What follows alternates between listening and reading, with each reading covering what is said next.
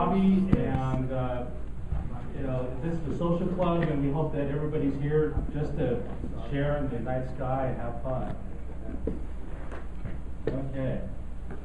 Uh, a new members packet, when you do join the club, if you join, you don't have to, uh, you get a letter from Joe Lalumia, our president, you get our copy of our bylaws, uh, a lot of information as far as the, uh, club, uh, roster, a lot of stuff. It has to be updated, but it's fairly, uh, consistent, so we'll, uh, you'll get that when you, if you join.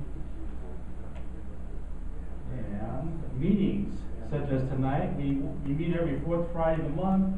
Uh, we don't have a meeting in December because we have a holiday party, and, uh, we have a yearly picnic in Atoka. Uh, now we're having more than one, Atoka's our dark side, which we'll go over. And we have a Messier Marathon in March, which is coming up fairly soon. So we'll, probably talk about that a little tonight during the meeting. Okay. Uh, meeting activities, uh, we have kids programs, speakers, as, a, as our speaker here tonight, and Kelly, I think, is gonna have a kids program tonight, is that right? And, uh, do a lot of things, it's a lot of fun, we do some club business, and then we have a thing called BAMSIG, which is beverage after meeting, so we usually go off to a, a local restaurant and just socialize afterwards, and you're just welcome to join us. Okay, meeting speakers, we, we've had a whole slew of interesting speakers throughout the years. Uh, John Dobson, the father of the Dobsonian telescope, was here years ago, astronauts. Brother Guy was, uh, here a couple years ago, he was just at our holiday party, and, uh, thanks to, uh, Glenn Fitzgerald, our vice president, and, uh, we always seem to have a very good slate of speakers all the time, so we, uh, there's always something going on that, that you might like. Okay, on the internet, which is what most people find us, we have our website, our discussion forum, and uh, our newsletter, and we do have wireless internet at Atoka, and we are on Facebook. So a lot of people find us on Facebook, and uh, that's pretty much how people find us throughout the, you know, throughout the whole area. And it's also where you get most of your information as far as uh, updates and events. All right, the website, this is what it basically looks like if you haven't been there. Uh, it's actually one of the, uh, number one rated websites in the whole country for astronomy sites. Uh, we do have a lot of information, calendars, uh, there's a members only section, and, uh, you get to our forums. And I also do the, the buttons, if you remember, you get a, you get a button for, uh, it's kinda like a name tag. And Gabe Cardona is our webmaster, he's done a great job. Uh, this is what the, this is what the new members section looks like. You can order your badge there, and then if you, uh, click on some of these other areas, oops, I don't think work. There you go. If you click on these areas, those are some of the other, uh, downloads. You can download minutes of meetings, financials, uh, other membership related stuff. And then we have our, uh, forum, and this is our primary means of communicating with each other between meetings, uh, between special events.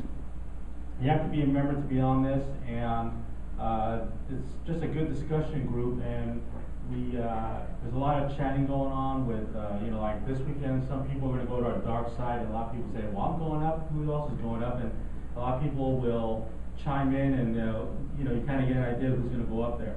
Um, then we also have images sometimes. Some people share stuff that they've shot, and it's a really great way to share information. And if you had a question on stuff, it's a great place to say, well, what about this? And then somebody will chime in and say, well, I got it, and this is how it works.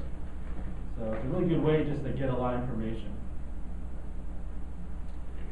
Okay, our events calendar, uh, usually our calendar is pretty packed full of stuff. And like this one here, we have, obviously, our meeting tonight, and we had, uh, uh, some school events, and we have almost something planned almost every weekend. Um, this is, uh, at a different link, you wanna go direct, and Kenneth Harrison's our public observing coordinator. And like, for instance, in February, we have, uh, the Russell Planetarium, which is our astronomy one oh one class right there. And then we also have, uh, board meetings, and just, it, it'll fill up throughout the year depending on, you know, public events like schools and things like that. And if you click on one of the events, you'll see more information, so you can get more details as to where it's at, you know, what kind of things are going on. So, uh, anybody's, uh, able to click on this calendar and take a look. And in March, uh, things are getting a little busier. We have, for instance, our Farmers Branch Star Party right there. It's pretty popular. And then we have our Messier Marathon going on right there, and that's a pretty popular uh, event. It's a yearly event where uh, this time of year is the best chance to get all 110 objects in one night. So, and then we have our Spectrum newsletter, which is uh, one of the best in the whole country, and it has a lot of information, and uh, it's a really well done newsletter. It's, it's on a little bit of hiatus right now. We're kind of regrouping a little bit. Uh, it's gonna, it's, right now, it's gonna probably come out in February, and, uh, right now, it used to be just one editor, now there's three of us doing it. It got a little too much for one person to do, so we're kind of spreading it out, but, uh, we'll have it out pretty soon, and you can get past issues on our website for free. So, uh, we encourage you to look at the old issues if you just wanna see what we've done in the past. Okay, our library, uh, Kelly Mills, our librarian, and that's the library in our house. Uh, there's a lot of books, magazines, uh, she's done an excellent job of maintaining it, and, uh, there's a little sheet on the member side you can look at where it shows you all the, uh, what's on there. Magazine subscriptions, as a member of the club, you get special club discounts for astronomy magazine, Sky and Telescope. Uh, this is just for the first time, if you, it's not for renewals, but just for new, uh, subscriptions. We also get a discount to another magazine called Astronomy Technology Today. Uh, that one's not listed here, but it's, you get a little bit discount on that one as well. Okay, public star parties. Uh, this is pretty much our bread and butter. It's what we do the most of because, you know, one of our mission statements is to educate the public, you know, get people involved. And we have a whole bunch of these things. We have regular scheduled ones in Spring Park and Garland, Cedar Hill, Shores Park, uh, and we just special request for Frisco too. Uh, we do a lot of schools. Uh, Astronomy Day happens twice a year. Uh, in fact, Shores Park is happening this weekend, this Saturday. So uh, Joe right there in the bottom row does that one. And then we have, coming up here, our observing programs. Uh, the Texas Astronomical Society belongs to the Astronomical League, which is the largest uh, organization of amateur astronomy clubs around the nation. There like, there's like 240 or more, and it's like thousands of people. And they have an uh, observing program, so they they kind of encourage people to look at certain objects by compiling a program together and saying, okay, well here's if you see so many objects, you get an award. So uh, there's 25 of these programs, and uh, it's a good, great way to just uh, get a uh, like an object list to target things that you want to look at. John Rudd is our award coordinator, so uh, you can go to the Astronomical League website and you can um, uh, just click on any of the clubs and you can see the list. Uh, John is himself is a master observer, which means he's observed at least what is it, 14? Is that right? 10. 10, okay. Out of 25, we do 10. In fact, Richard Brown, the person who just responded, is also a master observer. So we got a lot of uh, knowledgeable people in the club, and uh, it's just a really neat way to, to look at the night sky, and just get, you know, kind of an idea of what to look for. Okay, we have a lot of special interest groups. Uh, one of them is our amateur telescope maker. Uh, special interest groups are just little subgroups instead of uh, tasks that meet uh, on an ongoing basis at, at, a different location, and they're open to the public. Uh, this one's usually held in Wylie, Texas, at the what is it? The largest telescope factory in Texas, I guess. That's what they call it. Wylie. In Wylie, yeah. uh, but we do a lot of things like we, a lot of times we'll bring our own telescopes and people will look at them, and we'll try to figure out what we can do to improve it, we'll do mirror testing. Uh, there's a lot of interesting events going on. In fact, the next one of this meeting is gonna, I think, gonna happen in February, so you might wanna look for that. And then we also have an APSIG, or astrophotography, uh, special interest group. This one meets once a month on the first Tuesday of the month at the Timber Glen Library in, uh, off of Midway and one ninety. Uh, uh, it's a real small little meeting, about, about a couple hours long every month, and it- they have some really nice subjects. Uh, they talk about, uh, hardware, software, you name it. You can be a beginner, somebody, somebody who's never shot a, a photo, or obviously we've done some here with, uh, solar photography. So it's quite fun. And Atoka, this is our dark side about ninety miles north of Dallas, and it's about forty acres that we have up, uh, in rural Oklahoma, past the casino. Uh, it's, the, the nearest town is Caddo, Oklahoma, or Durant, uh, Walmart, Atoka. You can see all the, there's not, things are not too, too, uh, close there. And this is what it looks like on the front door.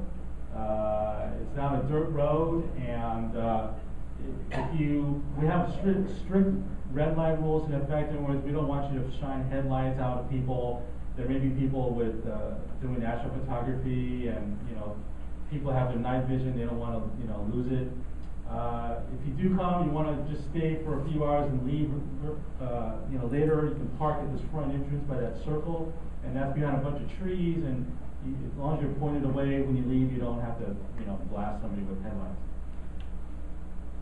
So then more of the Atoka here, this is basically how it's, how you get there, you just go up seventy-five north, uh, past the, the Red River, or, you know, going to Oklahoma, and then you pass the casino, and, uh, it's, it's pretty straight run, and there, there's a couple shortcuts to get there, but it's just, you know, just a lot of dirt roads, about, it's about five or six miles worth of dirt roads once you get up to seventy-five.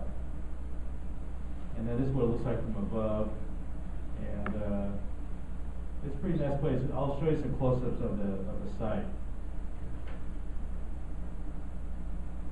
Okay, then we also have, this is our, uh, observatory, the Albone Observatory. There's a sixteen inch B telescope in there. And then we also have, uh, what it looks like at night.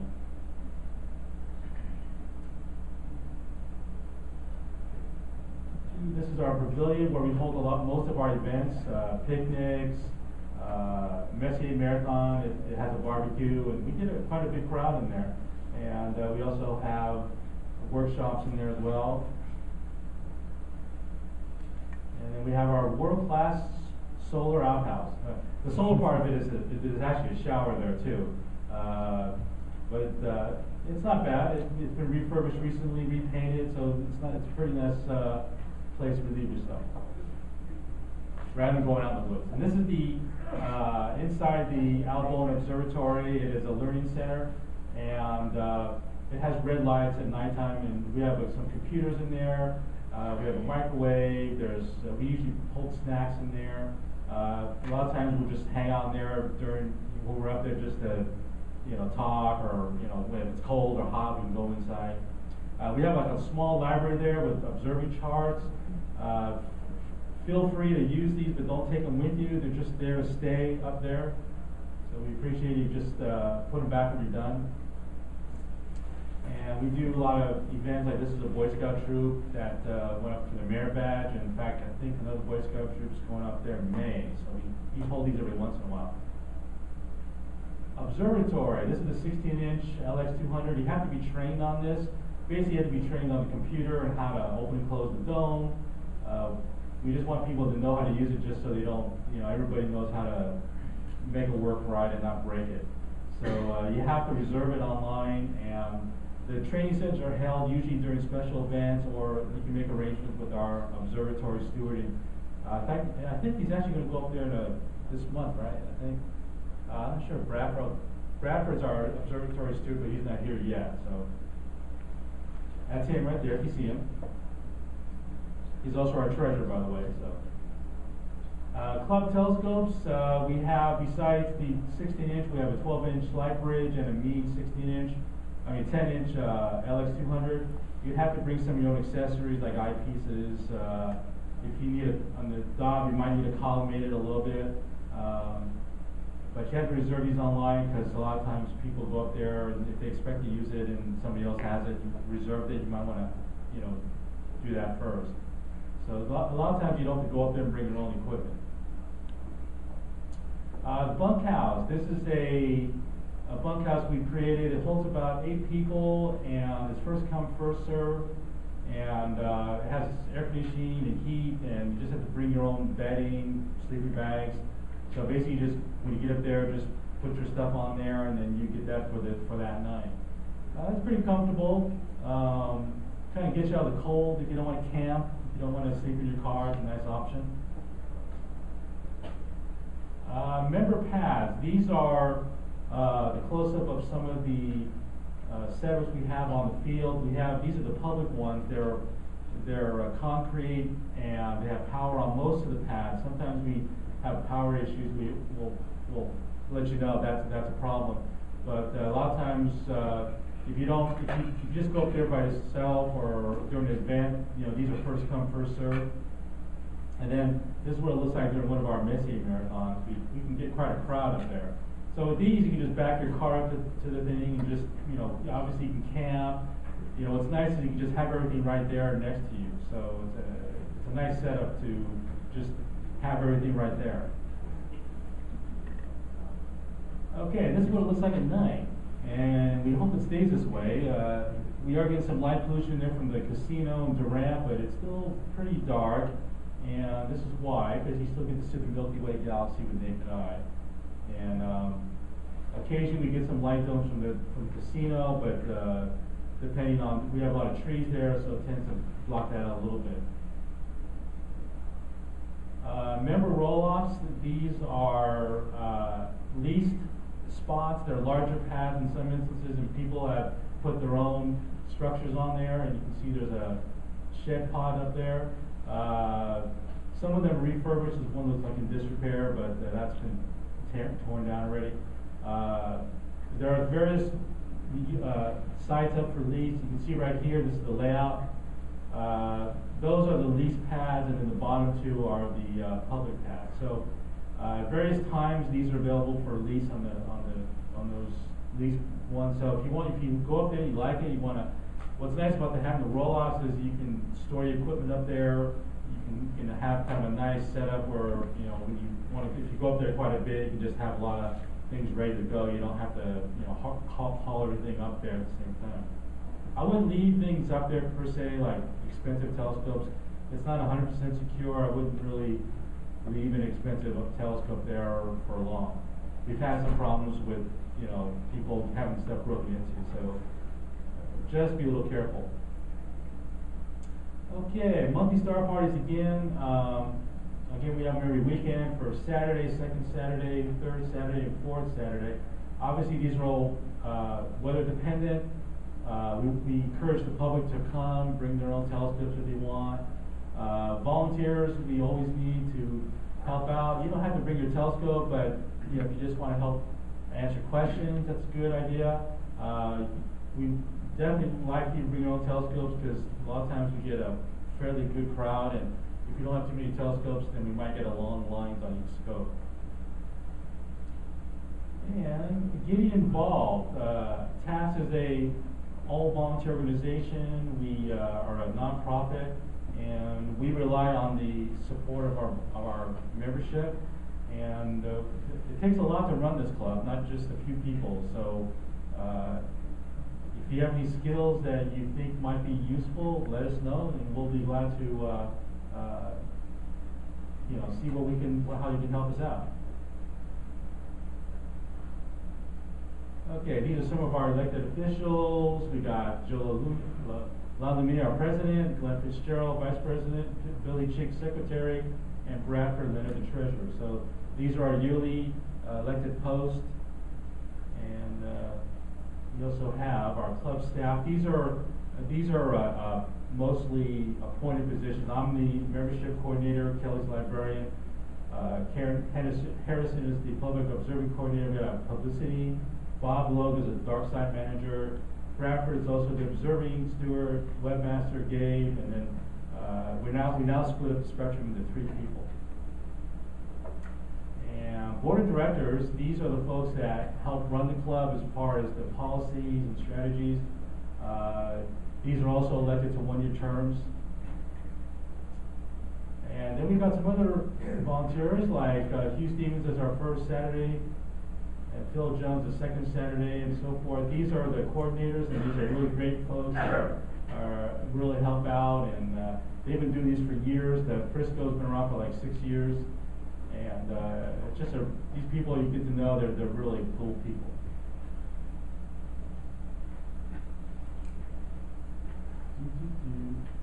So, basically, uh, in the, in the end, we all want you to have fun. Uh, we have a quite a diverse crowd, and, uh, uh, we, we're one of the largest clubs in the whole country, and, uh, we, we think we have a lot of fun, and we, we hope you do too. So. Any questions? No? All right, thank you very much.